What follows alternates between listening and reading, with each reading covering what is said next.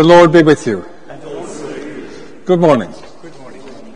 And welcome on this, the 11th Sunday after Trinity, and a special welcome to any who are returning to church today, perhaps for the first time, and a particular welcome too to those who are watching in on our live stream service.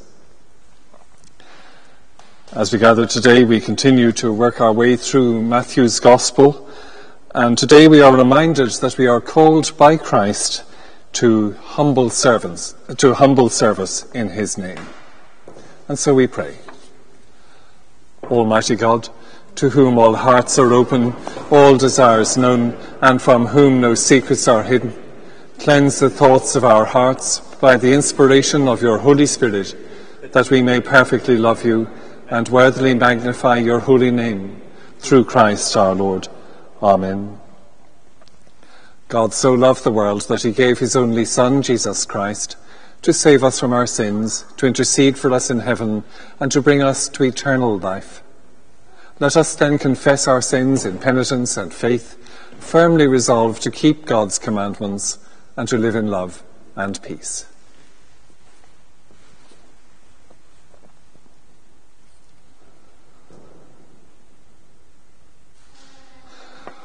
Almighty God, our Heavenly Father, we have sinned in thought and word and deed, and in what we have left undone. We are truly sorry, and we humbly repent. For the sake of your Son, Jesus Christ, have mercy on us and forgive us, that we may walk in newness of life, to the glory of your name. Amen.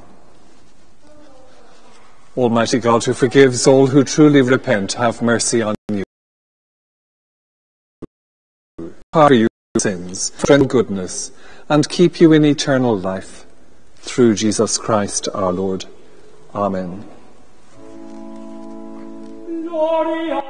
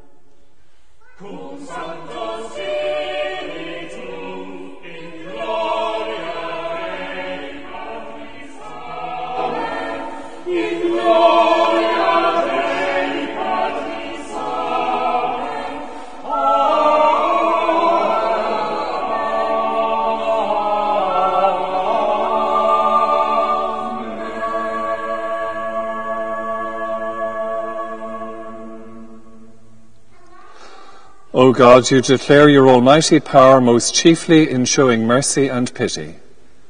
Mercifully grant to us such a measure of your grace that we, running the way of your commandments, may receive your gracious promises and be made partakers of your heavenly treasure. Through Jesus Christ our Lord. Amen.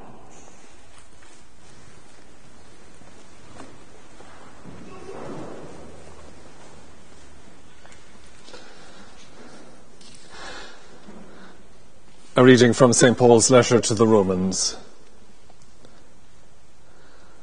I appeal to you, therefore, brothers and sisters, by the mercies of God, to present your bodies as a living sacrifice, holy and acceptable to God, which is your spiritual worship. Do not be conformed to this world, but be transformed by the renewing of your minds, so that you may discern what is the will of God, what is good and acceptable and perfect. For by the grace given to me, I say to everyone among you not to think of yourselves more highly than you ought to think, but to think with sober judgment, each according to the measure of faith that God has assigned. For as in one body we have many members, and not all the members have the same function, so we who are many are one body in Christ, and individually we are members one of another. We have gifts that differ according to the grace given to us prophecy in proportion to faith, ministry in ministering, the teacher in teaching, the exhorter in exhortation, the giver in generosity, the leader in diligence, the compassionate in cheerfulness. This is the word of the Lord.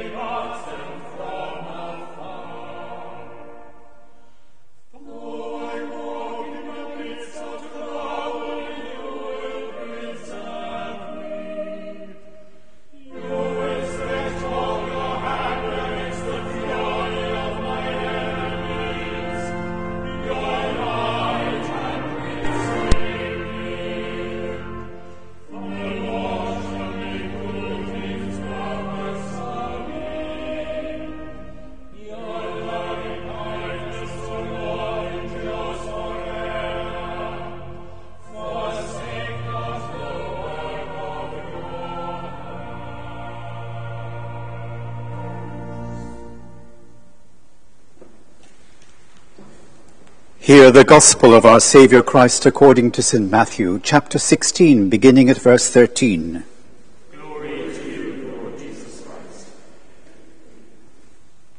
Now, when Jesus came into the district of Caesarea Philippi, he asked his disciples, Who do people say that the Son of Man is?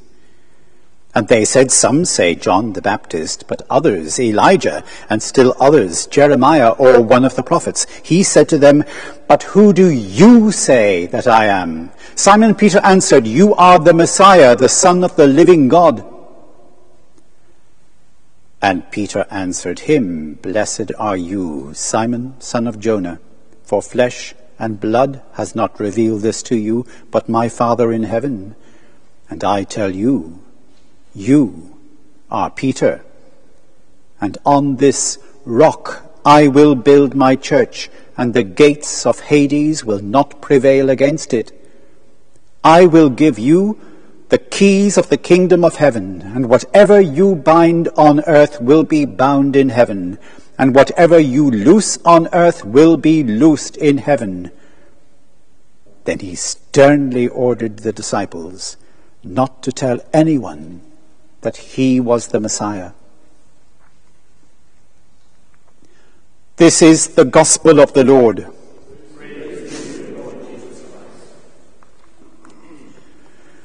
May what I speak, what we hear, be in the name of the Father, and of the Son, and of the Holy Spirit.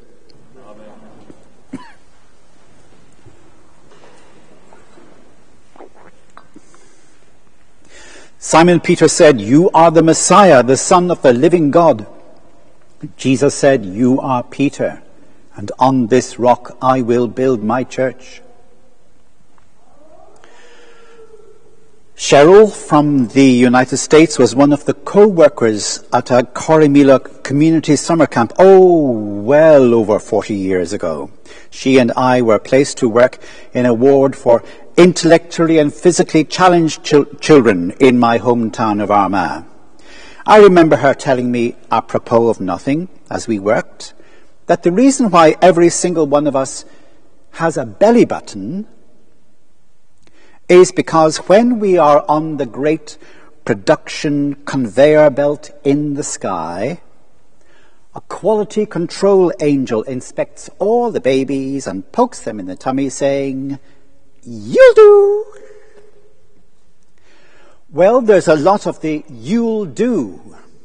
Indeed, you'll do in spite of it all about our Lord's praise of Simon Peter in the Gospel reading of today. Peter is nearly there. But, well, truth be told, he needs a bit of help. In next Sunday's Gospel reading following on from this passage, we will see Peter instead being called Satan by Christ. Get behind me, Satan, Jesus will say to him then. Immediately before today's gospel reading in Matthew chapter 16, Christ tells the disciples that they are all infected with the leaven, the yeast of the Pharisees and Sadducees. How could they not see who he is, he asks them, after the two massive big feeding miracles he showed them, the 5,000, the 4,000, bigger than the Orestes Golf Society meal. In today's Gospel reading, Peter is the only one, the only one of all the disciples who answers Jesus' question, Who do you say that I am? And all of that doesn't sound very promising, does it, for, the, for the, the, the, future of the church after Jesus' crucifixion? And Matthew labors the point in his telling of the gospel. But Matthew also writes up at this point how Jesus sees immediately great potential in this baby step of faith today of, by Peter.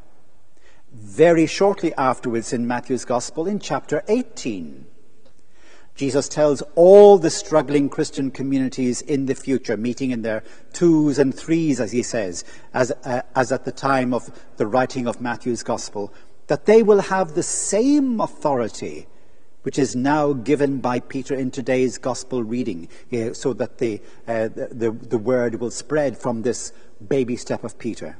He tells them the, uh, the people meeting in their twos and threes in, in future Christian congregations, that like Peter, what they bind on earth will be bound in heaven, and what they loose on earth will be loosed in heaven.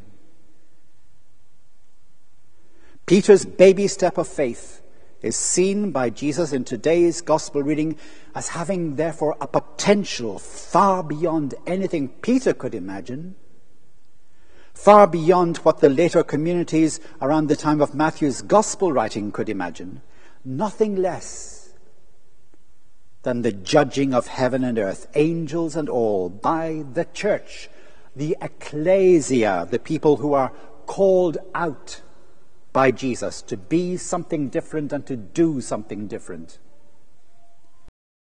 Jesus says today to Peter and to Peter's faith, You'll do. This is something previewed in the gospel reading of two weeks ago from Matthew chapter 14 when Jesus told Peter that he could walk on water. And we heard two weeks ago that all went well as long, we, we, we were told, as long as Peter kept his eyes on Jesus.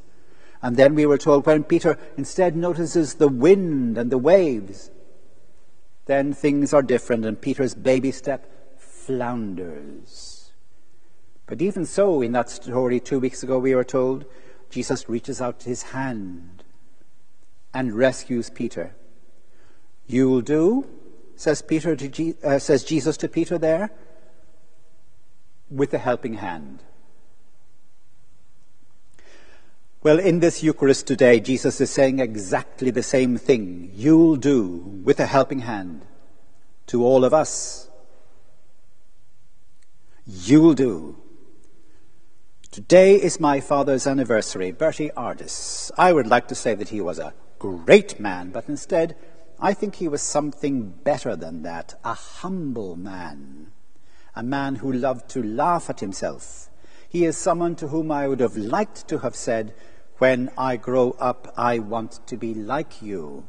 Well, I'm now 66, and I still want to say exactly the same thing to my father. When I eventually grow up, I want to be like you, humble. Someone said humility is not about thinking less of yourself, but instead it's about thinking about yourself less. In the gospel reading, Peter says to Jesus, You are the Messiah. He fixes his eyes on Jesus and not on himself. Just as the same as he fixed his eyes on Jesus when he was able to walk on the water and not on the wind and the waves. Humility means this keeping your eyes on Jesus all the waves and storms that you and I face today and tomorrow and this week are nothing, nothing compared with what can be achieved, not by me, and certainly not by me alone, but by me and Jesus, or better, by Jesus and me, with Jesus being in charge. And when Jesus is in charge, he fixes our eyes on his presence with us in all the various members of his body. These are all the people around us whom Jesus calls and to whom he gives gifts, working together as one. The great potential that can be achieved by you and me working together alongside Jesus is to do with service, and it is to do with humility. Don't think of yourself more highly than you ought to think. St. Paul writes in today's epistle reading. We who are many, he goes on to say, are one body in Christ, and individually we are members one of another. We have gifts, meaning, meaning we have ministries that differ. Take time during this week to be silent before Jesus outside all the waves and storms around you. Let whatever is in you say to him, you are the Messiah. You are the Christ. You are the union of heaven and earth.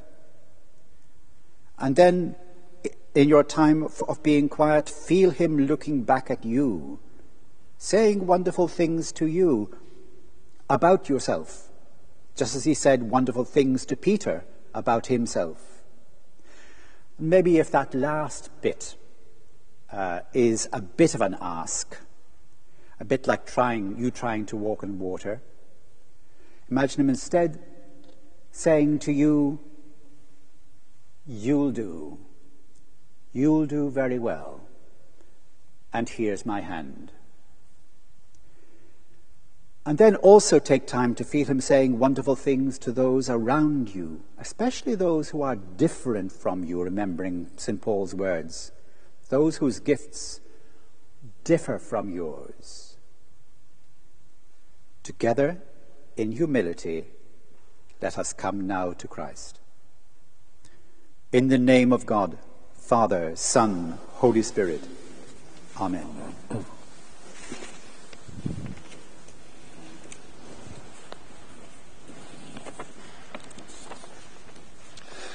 We believe in one God, Father, the Almighty, maker of heaven and earth, of all that is seen and unseen. We believe in one Lord Jesus Christ, the only Son of God, eternally begotten of the Father, God from God, light from light, true God from true God, begotten, not made, of one being with the Father. Through him all things were made. For us and for our salvation he came down from heaven, was incarnate by the Holy Spirit of the Virgin Mary, and was made man. For our sake he was crucified under Pontius Pilate. He suffered death and was buried. On the third day he rose again in accordance with the Scriptures. He ascended into heaven and is seated at the right hand of the Father. He will come again in glory to judge the living and the dead, and his kingdom will have no end. We believe in the Holy Spirit, the Lord, the giver of life, who proceeds from the Father and the Son, who with the Father and the Son is worshipped and glorified, who has spoken through the prophets. We believe in one holy, Catholic, and Apostolic Church. We acknowledge one baptism for the forgiveness of sins. We look for the resurrection of the dead and the life of the world to come. Amen.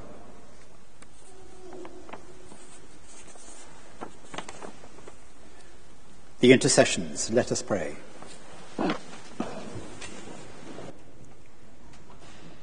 Almighty God, our Heavenly Father, encouraged by our fellowship with all the saints in your church, we make our prayers to you through our Lord Jesus Christ.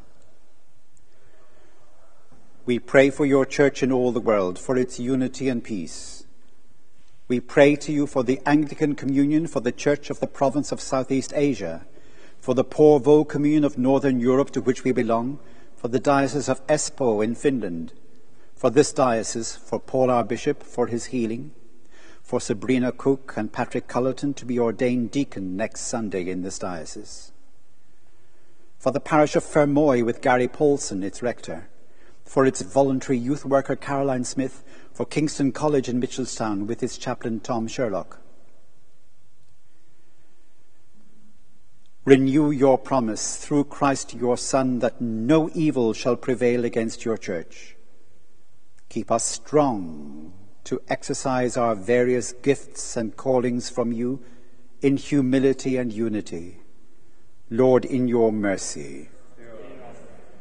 We pray for the world you have made, for the nations and refugees of humanity, for this country, for Michael D. Higgins, our President, for all in authority. Grant wisdom and discernment to those who, like Peter, are called to bind and to loose, to unlock the things that lead to fullness of life. Lord, in your mercy. We pray for the communities in which we live and work. We pray for our schools and for all school goers.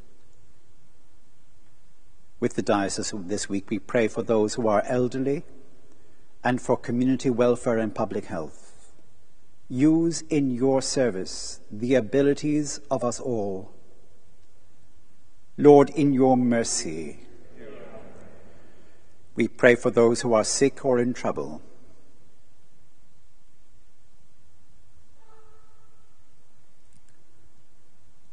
Your Son sent out disciples to preach and to heal the sick. Lay your healing hand upon us all.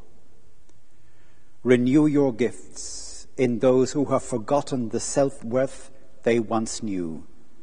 Lord, in your mercy.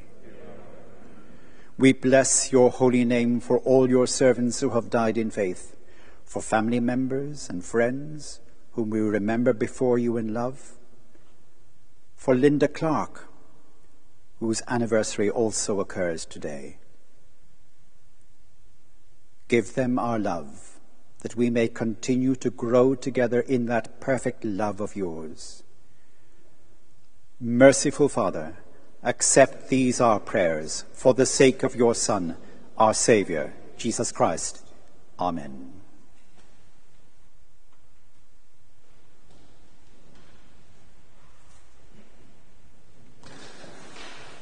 Jesus said, A new commandment I give to you, that you love one another, even as I have loved you, that you also love one another. The peace of the Lord be always with you.